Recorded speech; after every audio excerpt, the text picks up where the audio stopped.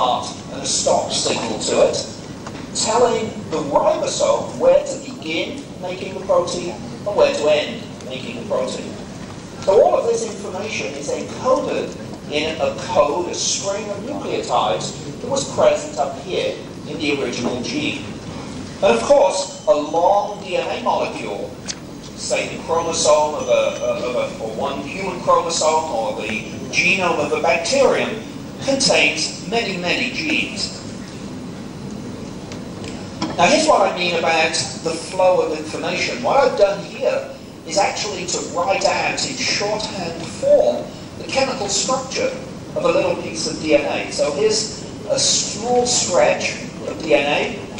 The bases, T-A-C-G, T-A-G-G, just form a continuous string and the two strands of the DNA are related because whenever one has a T on this strand, there is an A on this strand, and vice versa.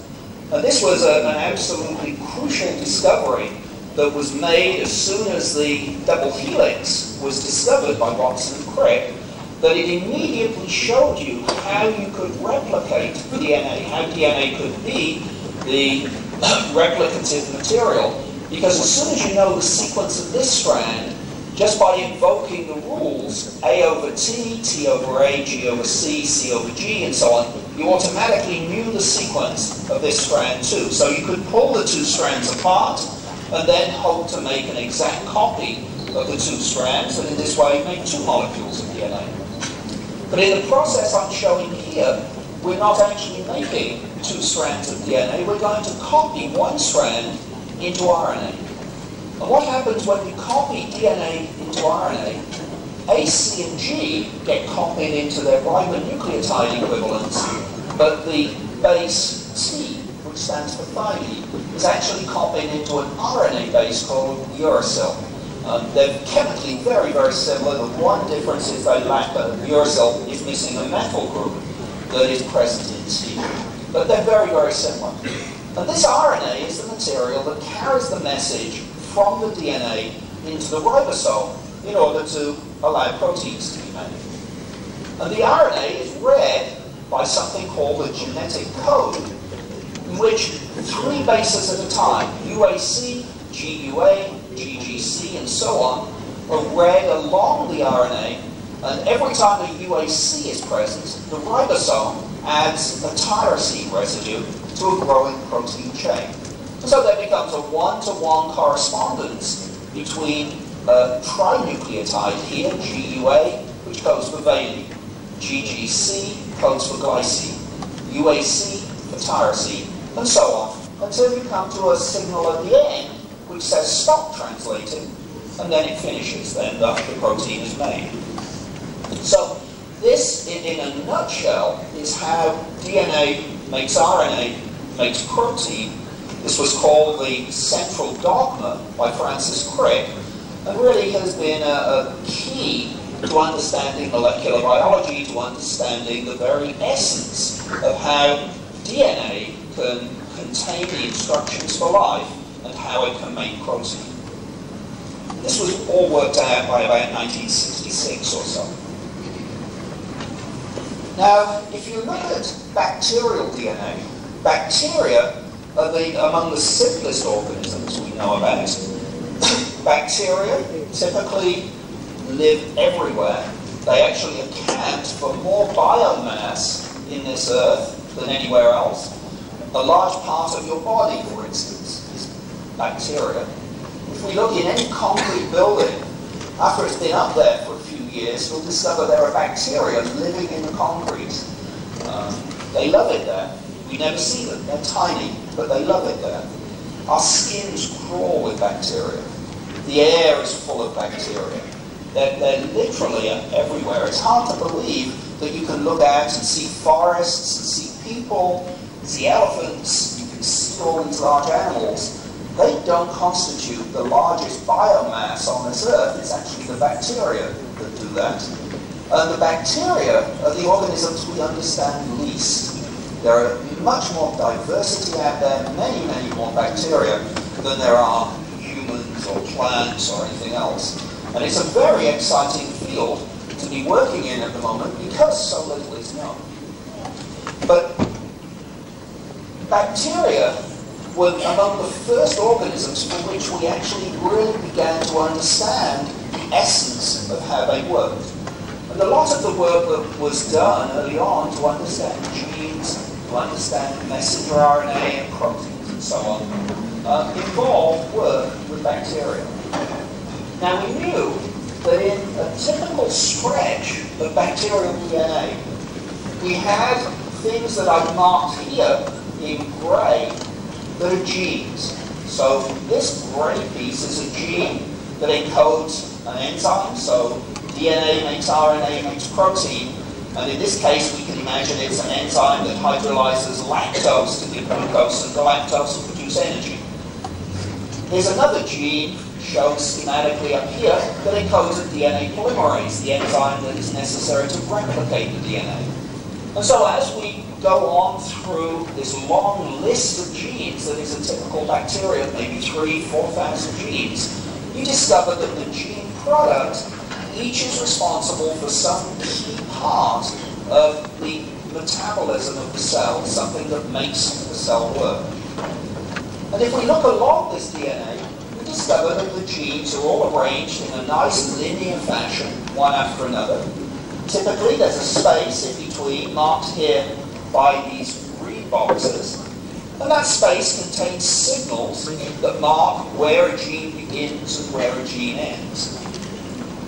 And again, in a typical bacterium, there's actually not a lot of space between the genes. The genes tend to be quite crowded together. And one reason for this is that bacteria typically multiply very rapidly, perhaps every half hour or an hour. In favorable conditions, they can double, uh, make a new copy of themselves. And so anything that is carrying along a lot of waste that would slow it down just doesn't double as quickly, and so they get left behind, and natural selection takes care of them. They disappear. So there's been a great selection to really keep everything as efficient as possible and not to carry a lot of garbage around. Now, when I first moved to Cold Spring Harbor in 1972, there was a little bit known about what was going on in terms of genes and the signals that were controlling them. But everything that was known had all been worked out in bacteria or in viruses that infect bacteria. And we knew that, say, human DNA or the viruses that interact with human DNA were really quite different from bacterial cells in many ways. And I became interested in the question of whether the signals that control genes in adenovirus were the same as the signals that control genes in bacteria. I think if you'd asked almost anybody at that time, do you expect there to be differences, they would have said no. And so, in a way, by doing this, we, we had some preconceived notions that we were going to find the same kind of answers in higher organisms, particularly in adenovirus, that we found previously. But nevertheless, being a scientist, one always wants to know um, whether things are the same or whether things are different. And of course, if you're like me and love finding new things, you always hope that there'll be at least a little something that is different. In order to pick a system that we could work on, we chose adenovirus. Now, adenoviruses are small icosahedral viruses. Almost everybody in this room will have been infected by an adenovirus. Maybe when you were one, two years old, your mother thought you had just developed a cold. All of the symptoms are the same as those of a common cold. Two, three days, you get over it, and you build up an immunity to adenovirus, uh, and you never get infected again. It's just one of these transient viruses comes through, is uncomfortable for a couple of days, and then you develop antibodies and become lifelong immune. But it turns out it's a very nice virus to work on experimentally in the lab because we can grow it rather easily. We can take tissue culture cells, human tissue culture cells, put adenovirus in and it will replicate, it will make lots and lots of itself. And it has one very nice advantage, is that when it does infect a human cell, early on it turns on a set of genes, and those gene products then stop all of the normal human cell activity. And essentially, the human cell becomes full of messenger RNAs that are encoded by adenovirus. So normal human messenger RNAs sort of slowly disappear, and by a few hours after infection, you only see messenger RNAs that are being made by adenovirus. And so we have a ready supply of lots of messenger RNA. What we knew about adenovirus prior to 1977, which is, um, well, actually we started this work about 1975, but prior to um, our discovery, what we knew was that at the left-hand end, adenovirus, I should say, is a DNA molecule. It's about almost 40,000 base pairs long. That on the left-hand side of the genome, there were a bunch of genes that we call early genes. And these were genes that as soon as the virus went into the cell, it started making messenger RNA corresponding to just this little segment at the left-hand end of the genome. There were a few others too, but these were the predominant ones. Later on, when the virus had managed to replicate itself and started to make new viral particles, it needed a lot of proteins to package itself into the appropriate um, coat.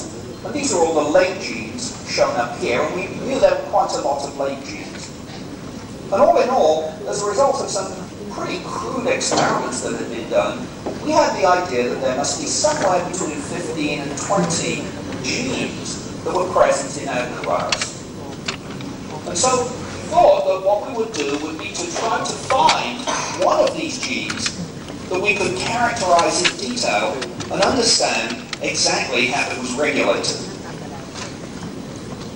So here's the idea. We want to find one adenovirus gene. this is the gene here that is making RNA this is the start point where the RNA is being made. What we were especially interested in was to know whether this sequence that precedes the start point of the RNA, we call it the promoter, but this is the regulatory sequence that tells the polymerase, hey, start making RNA at this point. We wanted to know what was the sequence of the bases just up here, so that we could then compare that sequence with a sequence that were known to be present in bacteria. So there were several promoters for bacteria known. We wanted to know if the adenovirus promoter was the same. Now you'll remember I just told you that adenovirus is linear. And we knew that the first RNA that was made when adenovirus first infects a cell starts at the left-hand end and goes in. And so we thought the thing to do would be to isolate a little bit of this RNA, we'll determine the sequence right here at the start of the RNA. Because the DNA, this is actually the end of the DNA right here, we thought all we would need to do would be to determine the DNA sequence coming up through here, see where the RNA began, and then by definition, we would know the sequence of the DNA that was the promoter. Very simple idea. We sequence the end of the RNA, we sequence the DNA leading up to it, and then by deduction, we must know this must be the promoter up in here, and we could compare it to the bacterial sequence. Well, when we tried to do that, we discovered that when adenovirus first infects cells, it doesn't actually make a lot of RNA from this early promoter. It only makes a very small amount, and not enough that we could actually isolate it and work with it in order to determine its sequence.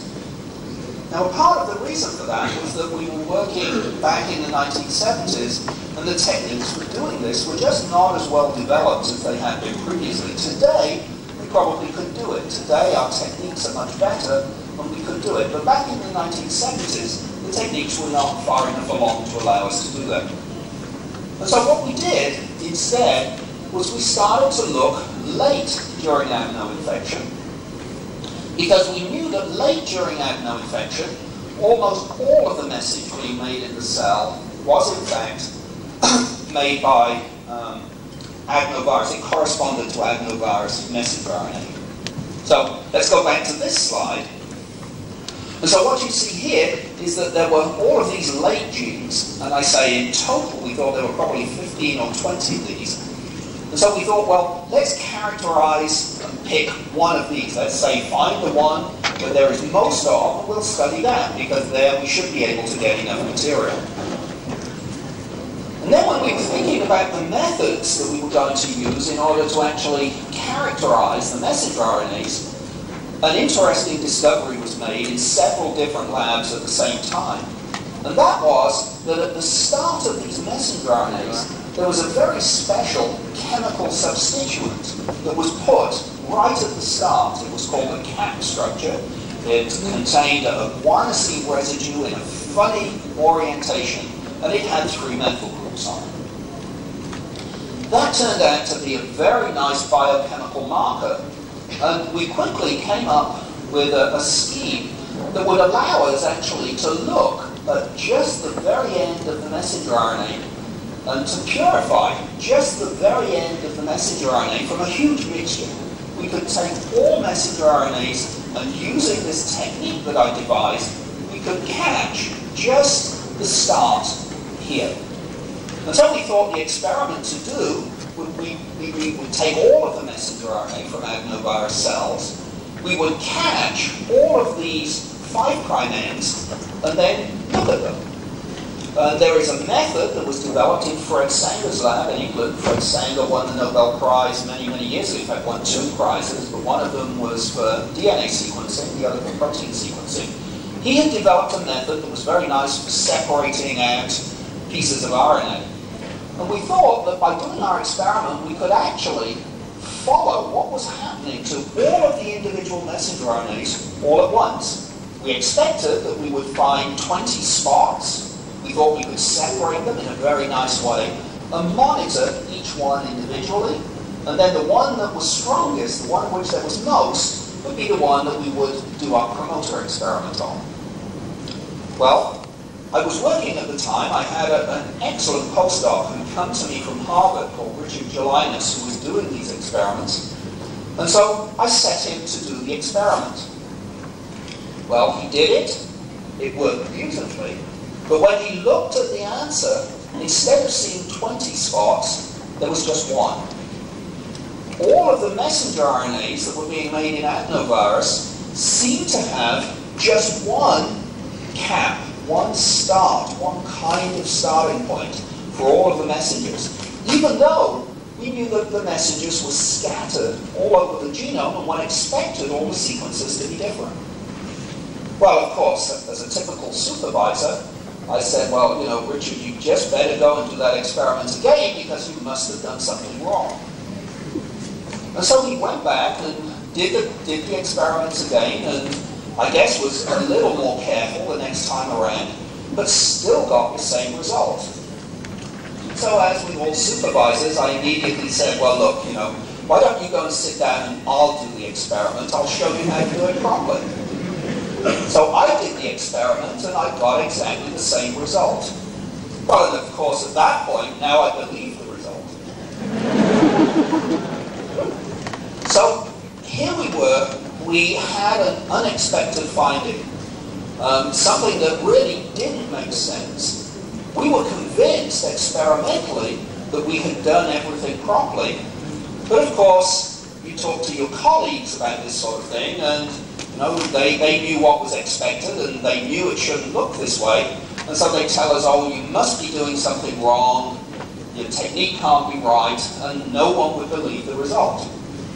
Now, for someone like myself, there is nothing, and I repeat, nothing, that makes me want to do something more than for someone to say, you've done it wrong, you shouldn't be doing it this way, go and do something more productive. So Richard and I then spent the next year trying to prove uh, the, the result we got was genuine and to try to understand what it meant. the bottom line, and if I can really put it clearly, the bottom line, as we were looking at the experiment, said that whatever was sitting at the end of this message, and whatever was sitting at the end of this message, whatever was sitting here and here, they were all the same.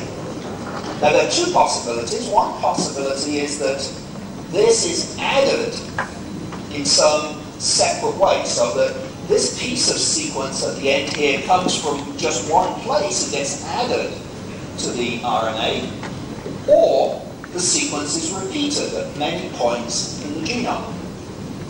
Well, it turned out another postdoctoral fellow in the laboratory, uh, a young Indian woman who was extremely talented, Sayeeda Zain, was looking very carefully at just one of these, actually this one, a fiber messenger RNA, and she showed convincingly that in the DNA sequence up here, this sequence that we were finding at the end of all of the messages simply wasn't present on the DNA. So here was one example of a message that didn't have the sequence at its 5' end. Whereas all of these other messages, um, by our analysis, Richard Gelinas and I, it did have that sequence there. So this led us to speculate that what must be happening is that the sequences at the end of the message were being coded at one place on the genome, and the messages were scattered elsewhere, and that somehow a mechanism existed to join the two together. Now, this was a radical suggestion. It was against everything um, that the dogma would have you believe. It was totally different from the way the bacteria made message. And yet, the more experiments we did, the more we liked the idea that this must be what was going on. Now let me show you a picture to give you an example of just one experiment that we were trying to um, interpret uh, and that helped us in our thinking.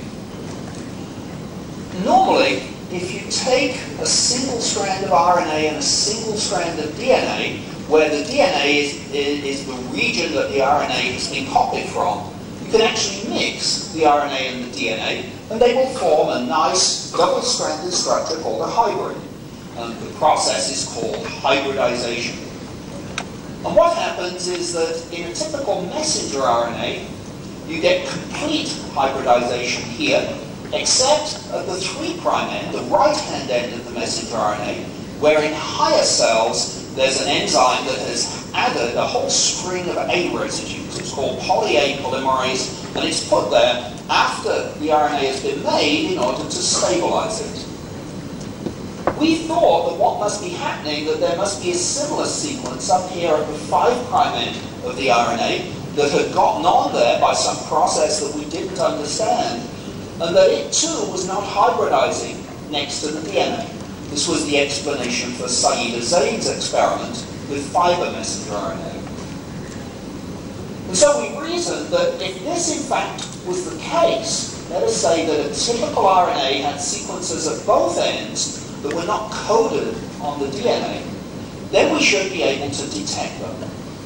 Now it was already known that if you had this long poly-A stretch of the 3' end, you could actually make synthetically a long stretch of poly-T, remember A and T hybridize to one another, and you could take that stretch of T and attach it to a very big molecule that you can see in the electron microscope.